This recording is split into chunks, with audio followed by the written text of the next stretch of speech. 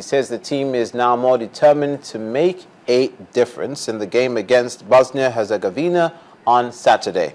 Nigeria failed to find the net in their opening group game against Iran, a situation Onazi believes the players have learned from. The Super Eagles need to beat Bosnia to stand a chance of making it out of the group stage.